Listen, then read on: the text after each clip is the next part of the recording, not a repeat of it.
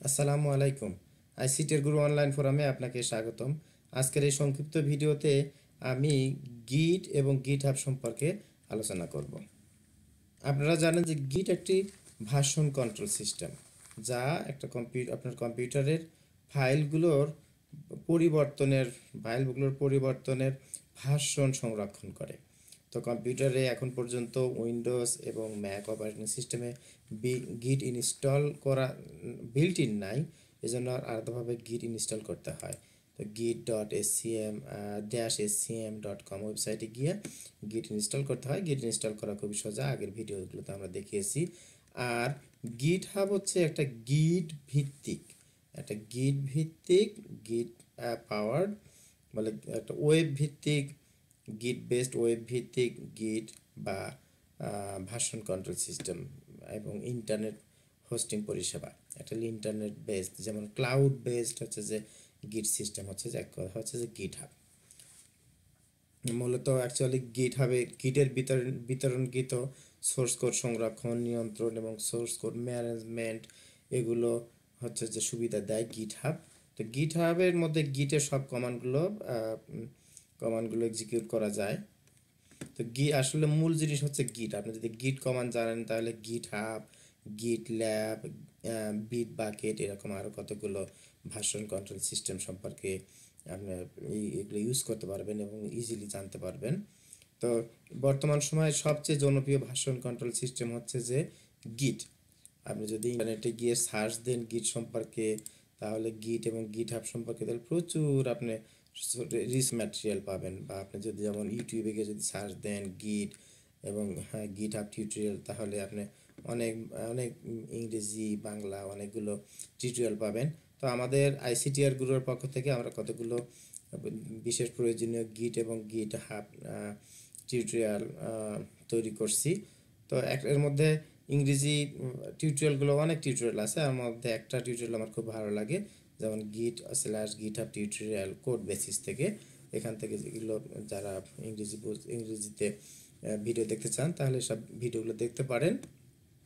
তো যেটা আমরা বলছিলাম যে গিট কি? গিট হচ্ছে যে একটা ভার্সন কন্ট্রোল সিস্টেম আর হচ্ছে যে গিট হাব হচ্ছে যে ওয়েব বেসড গিট ডিপোজিটরি এখন কম্পিউটারে গিট ইনস্টল করতে হয়, কিন্তু গিট হাব ইনস্টল করতে হয় না। গিট হাবে আপনাকে কী করতে হবে? গিট হাবের একটা অ্যাকাউন্ট ক্রিয়েট করতে হবে। গিট হাব অ্যাকাউন্ট করার জন্য আপনাকে গিট হাব ডট কম ওয়েবসাইটে যেতে হবে। গিট হাব ডট কম ওয়েবসাইটে গেলে আপনি এখানে যে আপনার, একটা ইজি একটা অ্যাকাউন্ট ক্রিয়েট করতে পারবেন। তো যখন গিট হাবে আপনি অ্যাকাউন্ট ক্রিয়েট করবেন, তখন আপনি আপনার এখানে গিট হাবে আপনি প্রজেক্ট রাখতে পারবেন ফ্রি প্রজেক্ট রাখতে পারবেন। আপনি গিট হাবে যে কোনো ফাইল রাখতে পারবেন যে কোনো ধরনের। আপনি ভিডিও রাখতে পারবেন, আপনার ইমেজ রাখতে পারবেন, আপনার ছবি রাখতে পারবেন, আপনার সিবি বা রেজুমি রাখতে পারবেন, আপনার সোর্স কোড রাখতে পারবেন। তো মূল কথা হচ্ছে যে গিট হাব হচ্ছে যেমন যারা কি বলে গুগল ড্রাইভ বা ড্রপ বক্স ইউজ করেন। নব্বই দশকে আমরা যখন প্রথম কম্পিউটার ইউজ করতাম, তখন ফ্লপি ড্রাইভ ইউজ করতাম, তারপরে সিডি ড্রাইভ ইউজ করতাম, এরপরে যখন দেখা যাচ্ছে ফাইলের মাত্রা যখন বড় হতো তখন আমরা সরাসরি কি ইউজ করতাম? আমরা হার্ড ড্রাইভ ইউজ করে এক কম্পিউটার থেকে আরেক কম্পিউটারে আমরা ফাইল ট্রান্সফার করতাম। এখন তারপরে ফ্ল্যাশ ড্রাইভ ইউজ করা শুরু করলাম। বর্তমান সময়ে আমরা ফ্ল্যাশ ড্রাইভও ইউজ করি না। ফ্ল্যাশ ড্রাইভ ইউজ করার প্রয়োজন হয় না। কারণ ফ্ল্যাশ ড্রাইভের পরিবর্তে আমরা ফাইলগুলো গুগল ড্রাইভে রাখি বা, কি বলে ড্রপ বক্সে রাখি। গুগল ড্রাইভে কোনো ফাইল থাকে তাহলে আপনি জিমেইল অ্যাকাউন্টের এগেনস্টে আপনি গুগল ড্রাইভ পেতে পারেন। সেখানে আপনি জিমেইল অ্যাকাউন্টে ঢুকে আপনার গুগল ড্রাইভে ঢুকে আপনার ফাইলগুলো দুনিয়ার যে কোনো প্রান্ত থেকে যে কোনো কম্পিউটারে ওপেন করতে পারেন। তো, এটা হচ্ছে যে গিট আসলে গিট বা গিট হাব থাকলে কি সুবিধা হয়? গিট হাব যদি আপনার অ্যাকাউন্ট থাকে, তাহলে আপনার প্রোগ্রামগুলো আপনি গিট হাবে রাখতে পারবেন। যে গুগল ড্রাইভে বা ড্রপ বক্সেও আপনি প্রোগ্রাম রাখতে পারেন। কিন্তু গুগল ড্রাইভ বা ড্রপ বক্স আপনার আপনাকে ফাইল ফাইল সংরক্ষণ করতে পারলেও এগুলো কি করতে পারবে যে আপনার ফাইলের পরিবর্তনের, ফাইলগুলোর পরিবর্তনের ভাষণ কন্ট্রোল রাখতে পারবে না, ভাষণ সংরক্ষণ করতে পারবে না। অর্থাৎ আপনি কি চেঞ্জ করলেন, কে চেঞ্জ করল, কখন চেঞ্জ বিশেষ করে আপনি যদি গ্রুপে কাজ করেন, তাহলে আপনার হচ্ছে যে সেক্ষেত্রে আপনার ভাষণ কন্ট্রোল সিস্টেম যা ব্যবহার করার বিকল্প নাই। বর্তমান সময়ে বিভিন্ন ভাষণ কন্ট্রোল সিস্টেম আছে, যেমন এসভিএন সোর্সেভ তারপরে গিট তো গিট হচ্ছে সবচেয়ে জনপ্রিয় গিট হচ্ছে সবচেয়ে জনপ্রিয় ভাষণ কন্ট্রোল সিস্টেম নাম্বার ওয়ান তো গিটের কেমন ব্যবহার? বিভিন্ন বর্তমানে বড়, ছোট, বড় অনেক কোম্পানিতে আপনার প্রজেক্টে কাজ করতে গেলে আপনি গিট বা সোর্স ভার্সন কন্ট্রোল সিস্টেম জানার কোনো বিকল্প নেই, জানতেই হবে। আপনি তো আর এখন গুগল ড্রাইভে বা ফ্লপি ড্রাইভে ফাইল রাখবেন না। ইভেন আপনি যদি দুইজন কাজ করেন একটা টিমে তাহলেও তো আপনি, আপনাকে ভার্সন কন্ট্রোল সিস্টেম ইউজ করতে হবে। মানে কি পরিবর্তন করলেন, কখন পরিবর্তন করলেন, আবার কখনো যদি ফাইলের কোডের পরিবর্তন ব্যাক করতে হয় রিভার্ট করতে হয় রিবেস করতে হয়, তাহলে এইসব কাজের জন্য আপনাকে ভার্সন কন্ট্রোল সিস্টেম ইউজ করতে হয়। তো, এই ভিডিওটাতে আমরা দেখতে পাচ্ছি যে গিট বা গিটহাব ব্যবহার করলে আপনার কি সুবিধা হবে।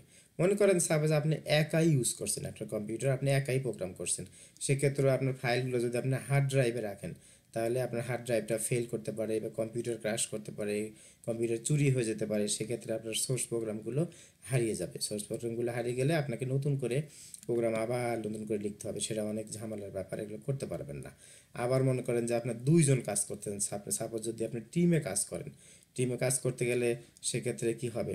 আপনার হচ্ছে যে টিমে কাজ করতে করলে, মনে করেন আপনি দুইজনও যদি কাজ করেন, সেক্ষেত্রে দুইজন প্রোগ্রামারের মধ্যে যে ফাইল আদান প্রদান, আপনি কীভাবে করবেন? এখন তো ফ্লপি ড্রাইভ দিয়ে বা ইমেল দিয়ে তো আর প্রোগ্রাম ফাইল আদান প্রদান করতে পারবেন না।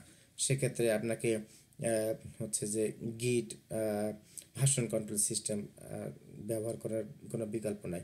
আর যদি আপনাকে, আপনি যদি অনেক মানে লোক একসাথে যদি কাজ করেন, বড় একটা টিমে যদি কাজ করেন, সেক্ষেত্রে তো আপনাকে ভার্সন বা ভার্সন কন্ট্রোল সিস্টেম যেমন গিট বা গিট হাব এগুলো ইউজ করার বিকল্প নাই।